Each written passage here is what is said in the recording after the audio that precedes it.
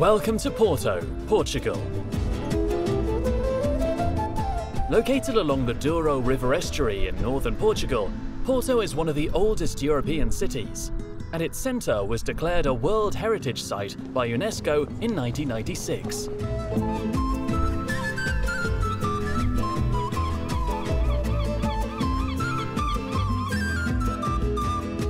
Porto offers as much cobbled street charm and dazzling ancient architecture as you'll find anywhere else in Europe. It's nestled in one of the world's leading wine regions, and yet it's still uncrowded and an affordable place to be.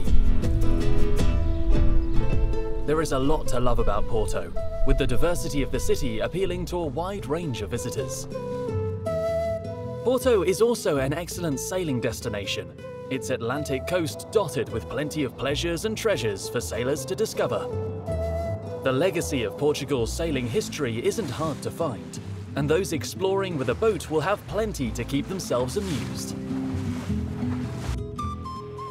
In Porto, as we can see, besides you know, the atmosphere uh, that is around here, that people uh, will be, we are on the Atlantic here, so perfect conditions for sailing. Um, I would say that Portugal, of course, is, is a seamanship country where we have uh, everything uh, and very good places to, sail, huh? from south to north, and here we are in Porto.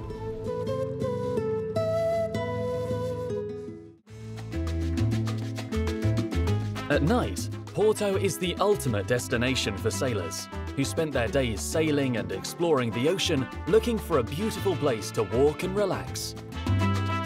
The city's historic atmosphere means Porto really shines under the moonlight.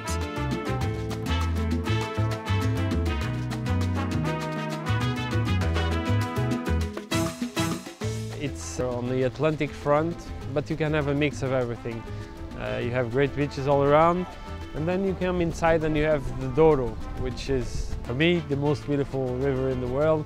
You can have great wine experience, great, great hotel experiences, great underwater activities. Um, it has a great uh, history. The city has been around uh, in, the, in the tourism panorama for a lot of times. We have been receiving a lot of international tourism awards.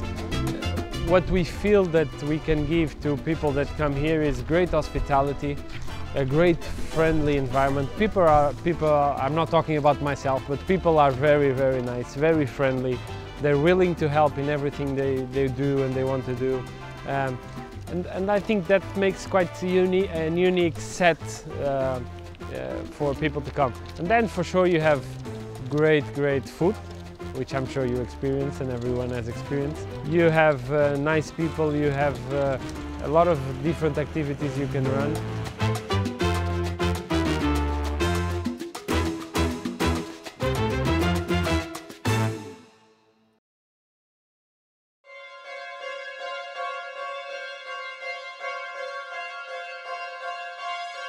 The Finn Gold Cup returned to Portugal this year for only the third time in its 65-year history, with BB Douro and Douro Marina hosting the last major event before the Olympic Games in Tokyo. On both previous occasions Portugal hosted the Finn Gold Cup, it was held in Cascais.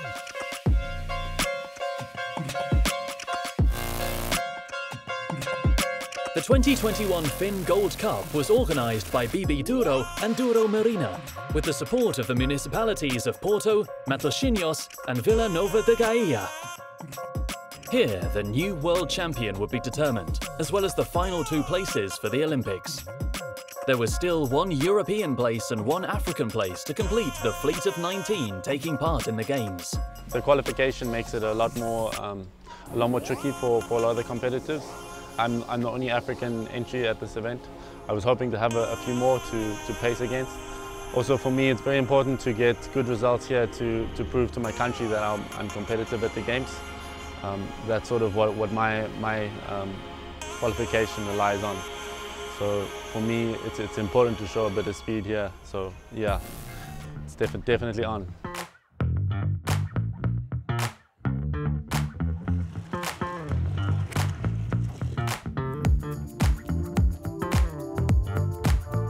Everyone was expecting the competition for the final European place to be intense, with a large number of sailors challenging for it.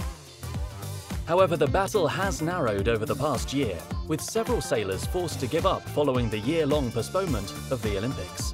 Yeah, so this event uh, will be the last qualifying event for the Olympic Games. Uh, obviously, Switzerland doesn't have a spot yet, so I'm going to try to get that last spot. Uh, the level is really high, so I expect a great battle for that spot.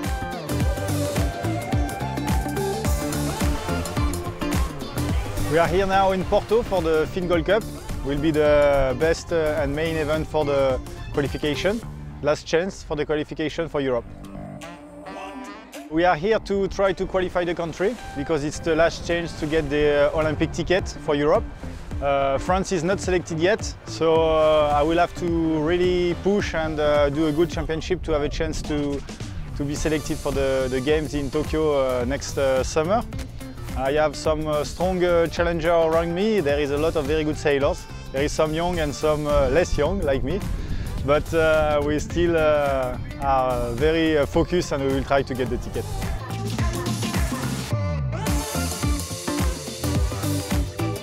There's actually only one ticket, and for, but I think the key will be to finish top three probably in this regatta. Seems to be very difficult, especially with uh, Joan Cardona, Nils Standing. Uh, these guys are selling really good. They finished third and fourth in the Europeans last month, and uh, so the level is really high. Of course, there are more guys, and everything can happen. It will be a really stressful for regatta, and uh, pressure will come. But uh, yes, it will be will be hard. But uh, of course, everybody has a chance, and I think it will be close at the end of the game.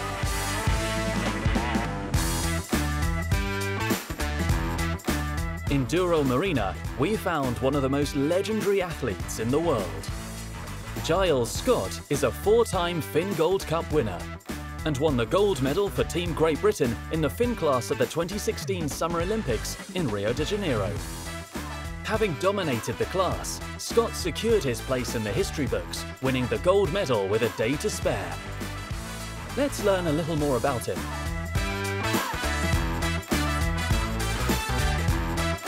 Uh, I started sailing on a gravel pit in the Midlands in the UK. I grew up uh, away from the seaside and just learned in a, you know, on a reservoir, small reservoir, uh, in an Optimist dinghy.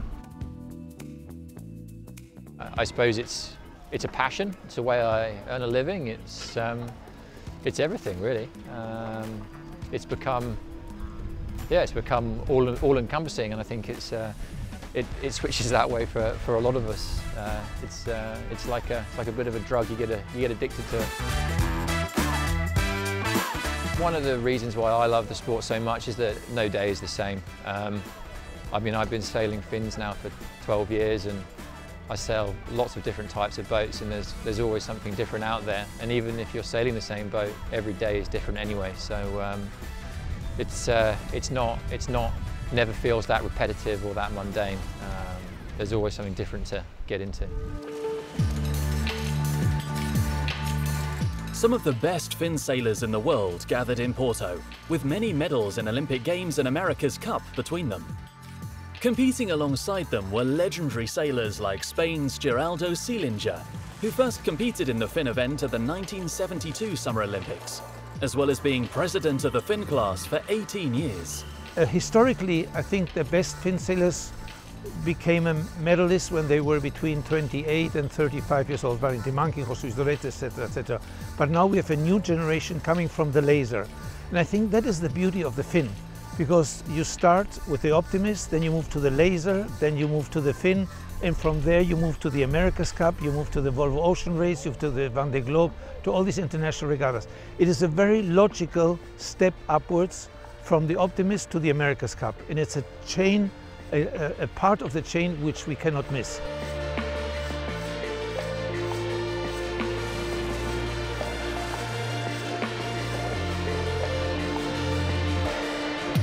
Over the last year, sporting events around the world have been affected by the global outbreak of COVID-19. Sailing and the Finn class haven't been immune to the impact from the pandemic, with major international events postponed.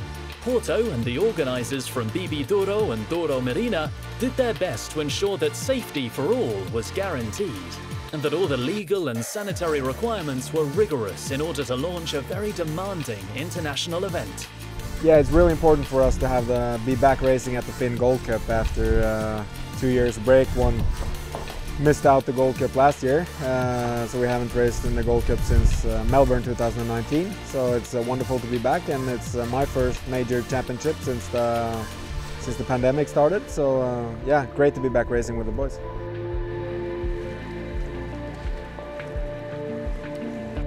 But it's time for the race to start and for some great sailing to unfold. Let's start the race. Vamos começar as regatas.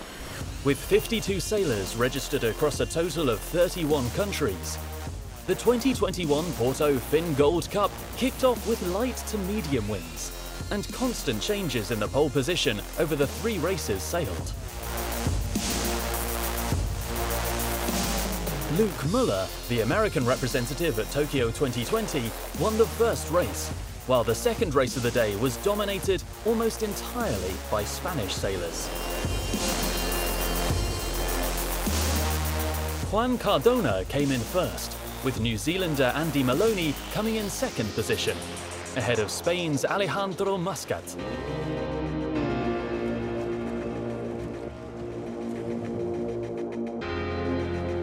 European champion Hungarian sailor Zsombor Berecz won the last race of the day, leaving Spaniard Juan Cardona and Argentine Facundo Olezza to take the second and third positions.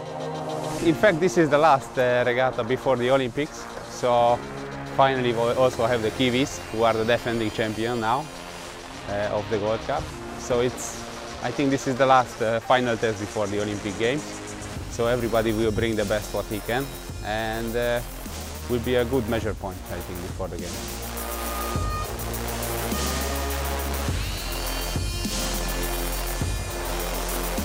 The US's Luke Muller scored a bullet in the starting race of the regatta, proving his great condition just weeks before Tokyo. The American is preparing for his first Olympic Games and feels a profound responsibility to represent the US sailing community.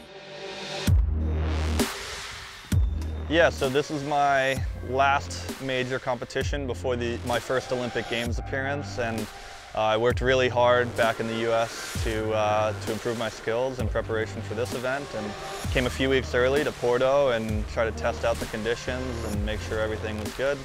Um, I had a lot of fun training against my training partners, and uh, I felt really solid coming into the event, and uh, hopefully I can finish strong on the last day.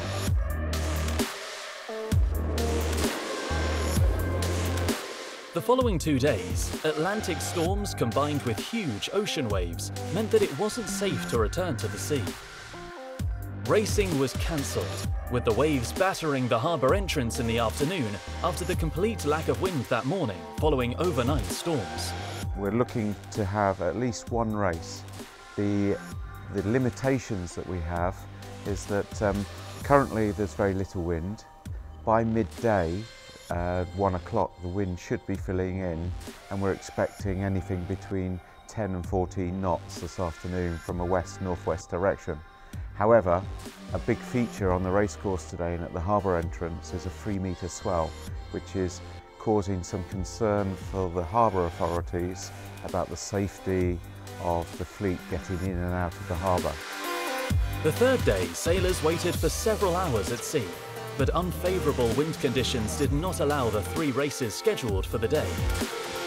Well, today we, uh, we went out early. The last few days we've had some big seaway. Um, it was forecast to be three metres. I think, well, today it felt bigger than three metres, but it might have been three metres. Either way, it was uh, very big out there and the, the wind was very shifty. Lots of rain squalls coming through, wind shifting through about 100 degrees almost. Um, and it, it really made the, the racing impossible for the, for the race officer to get anything away. Uh, the wind dropped towards the end and um, unfortunately we lost the window with the, the, the, outwash of the river and the, uh, the harbour entrance here. um, getting a bit, bit, too, uh, bit too dangerous. So yeah, we're in early, no racing. The sailors used this break to relax, and it was a good chance for them to discuss their thoughts regarding the future of the class at the Olympics. It turned to wider conversations regarding the Paris 2024 events. Many of the sailors are reflecting on the current state of the process, especially in regard to the Finn Olympic status.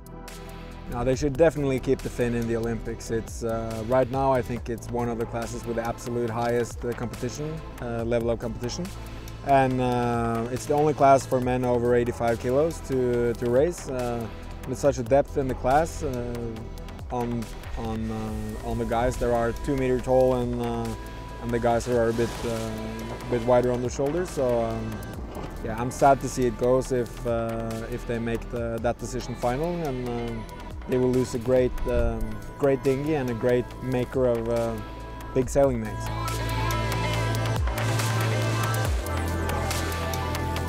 I think the Finn now uh, have a lot of young guys coming and uh, they are expecting to, to be living the Olympic dream in some, uh, in some ways.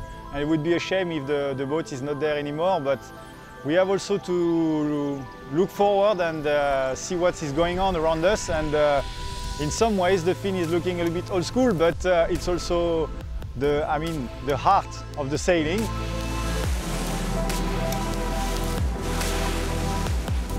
There's obviously the, the world, the world sailing is in a bit of a mess right now with what, what's happened with the classes, and in honesty, from a sailor's point of view, the way it's been handled is, well, it's just, it's disastrous, really. Um, it's in a tricky spot now, um, and yeah, there is still there is still a chance. I think that the Finn can uh, can remain in the Olympic Games, and obviously I hope that that's that's the case. Um, but I think the the fundamental thing that, that World Sailing have to get right is that the classes have to represent the people that sail, um, and you know we're as Finn sailors, as bigger single-handed sailors, we're a we're a big part of the, the greater sailing population that needs to be represented in the Olympic Games. And if some of the submissions go through that have um, been uh, put forward that, that, exclude the Finn, I think that's, that's going to be a bit of a, bit of a travesty.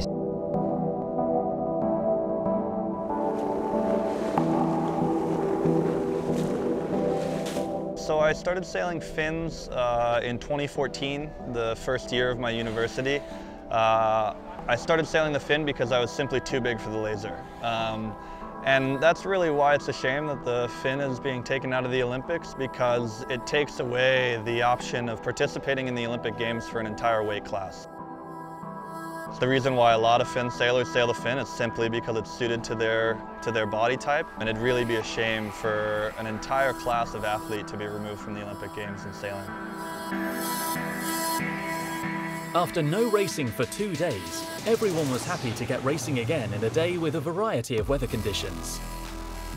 It was a day of thirds, with a very gentle opening race of 6 to 8 knots, followed by clearing skies and a slightly tougher race of 12 to 14 knots, before finally clouding over and picking up to 14 to 16 knots in the final race. New Zealand's Andy Maloney extended his lead to go ahead by five points into the final day. In the very light first race, Brazil's Jorge Zarif scored a bullet. Winner of the second race of the day was Nenad Bugarin from Croatia, while in the third race, Junior and his compatriot Maloney did the 1-2. Yeah, it was great to be at the front of the fleet with Josh for the first race of this event, you know, and to cross the finish line 1-2 is um, really cool and something that we obviously strive to do every race, so it's cool to do it.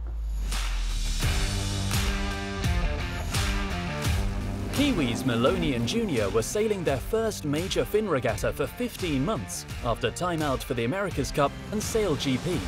So their performance was particularly impressive as they prepare for the Olympics. You know, today's the fourth day of the Finn Gold Cup and it's looking like it's going to be a pretty awesome day with uh, onshore breezes and sort of 10 knots. So yeah, can't wait to get out there. Hopefully we get three races in and catch up a bit.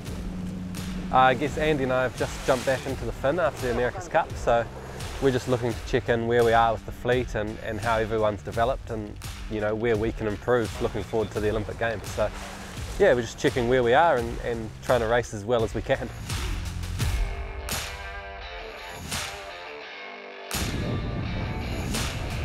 At the same time, the Tokyo 2020 European Continental Qualifier was heading for a nail-biting conclusion, with four sailors inside the top 10.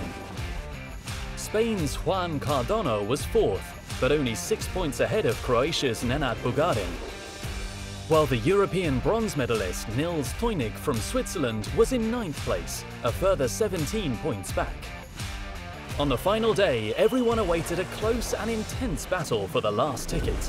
We are on the last day of the championship, uh, still uh, three more races to, to finish the, the regatta and uh, happy with my position uh, so far. I think still is everything open uh, to qualify and also quite, uh, quite close to the podium I believe. So everything is still open and I believe if I do my best today that everything gonna end up well. Yes, today is the day. It's the day I've been waiting for the last four years. Of all my training has been focused on today and this championship, and I'm very looking forward to it. I feel very confident, and yeah, the main goal is to achieve the Olympic ticket for Spain, and then if we get a medal in the Worlds, it would be amazing also. The day was full of close battles and great sailing moments, with the title open until the very last race. Andy Maloney led the 2021 Porto Finn Gold Cup from the first to the last day, despite a brief loss of the lead midway, and did just enough to take the cup away from his teammate Josh Junior, who won in 2019 and this year finished third. Oh, it's just just awesome to win the Finn Gold Cup. You know, I haven't won an Olympic class world championship before, so for me this is my first one, and it just feels amazing. Um, the conditions all week were really tricky. You know, lots of current and lots of big shifts. So it feels feels pretty good to have it done.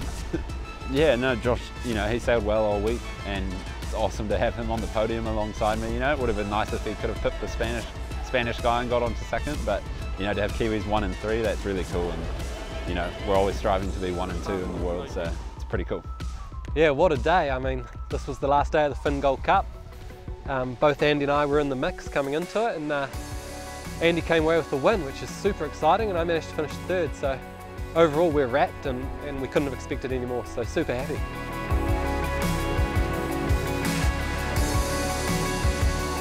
It took 63 years for New Zealand to win its first Finn Gold Cup, and now two have come along in a row. The Kiwis were the ones who best adapted to the difficult conditions imposed by the Atlantic in the four days of competition of the Finn Class World Championship. You know, yeah, New Zealand, you know, we had never won the Finn Gold Cup before Josh did it uh, last in 2019 in Melbourne. So, you know, to keep it, to win it now and to keep it in New Zealand, it's pretty cool.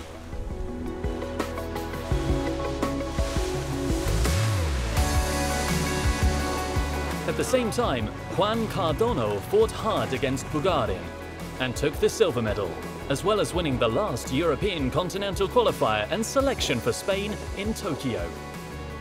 Leo Davis also qualified South Africa for Tokyo in the African Continental Qualifier. Yes, the day was quite difficult. It was super tricky out there and uh, we had some rain also in the morning and it was not easy, but I managed to have a good day overall and, and get the spot for Spain, so I'm very happy. We are the last country to get the spot. I think we are very good prepared. We work really hard as a team. I really hope the, the best is yet to come in, in Tokyo and I'll give my best for it. Due to COVID restrictions, a fairly simple prize-giving ceremony took place to conclude the event, with the champions holding their trophies aloft, accompanied by the applause of their friends. At the same time, the championship was environmentally friendly, with the organisers awarded the world's only sustainability certification for water-based events, with the Sailors for the Sea prize. A World Championship is always an event with mixed feelings, um, but the common factor on the winners and, and, and the not winners is that everyone is very happy. Uh, everyone loved the Douro Marina, the staff and the team that run the event on the water and the races. Um, Porto delivered great conditions, great sailing conditions, challenging, very challenging. But uh, we can have no better reward than uh, people that were not going to stay in Porto after the event are now going to stay in Porto and in Marina after the event to prepare themselves for the Tokyo Olympic Games. So happy days.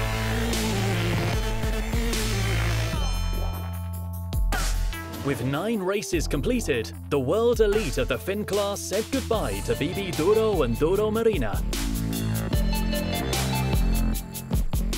After an intense week of competition and several days of exploring the cities of Porto, Matosinhos and Vila Nova de Gaia. Next stop for the Finn class is the Olympics for Tokyo 2020.